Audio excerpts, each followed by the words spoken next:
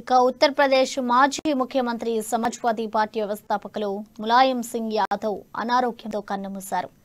గత కొంతకాలంగా అనారోగ్యంతో బాధపడుతున్న ఆయన హర్యానా గురుగ్రామ్లోని మేధాంత ఆసుపత్రిలో మరణించారు. ఆరోగ్య సమస్యల రీత్యా ఆగస్టు ఇరవై రెండున ఆసుపత్రిలో చేరిన ములాయం అప్పటి నుంచి చికిత్స పొందుతున్నారు.